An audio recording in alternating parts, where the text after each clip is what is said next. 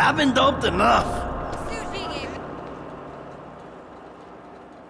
Here, here we are. Don't choke on your own vomit in the night. You're the lightweight, old buddy.